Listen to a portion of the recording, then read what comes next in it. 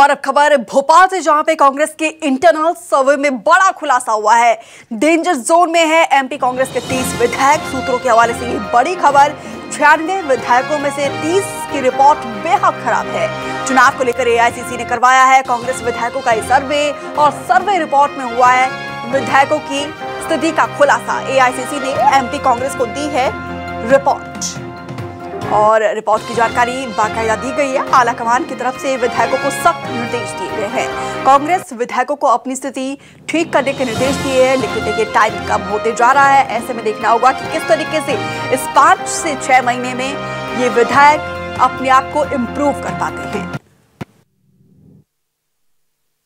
देखिए, केंद्रीय नेतृत्व ने पहले ही ऑब्जर्वर नियुक्त किए हैं, पर- प्रभारी नियुक्त किए हैं, सह प्रभारी नियुक्त किए हैं, और हमारी स्थानीय कार्यकर्ताओं की रिपोर्ट है, आंतरिक सर्वे भी है। निश्चित रूप से जो कर्नाटक में किया था, मध्य प्रदेश में वही होने वाला है। माननीय कमलनाथ जी के भी सर्वे जो भी हैं, जो कमज़ोर लोग हैं, जिताऊ लोगों को ही टिकट मिला, मिलेगा, ताकि हम डेढ़ का जो आंकड़ा है, उसे पार कर सकें।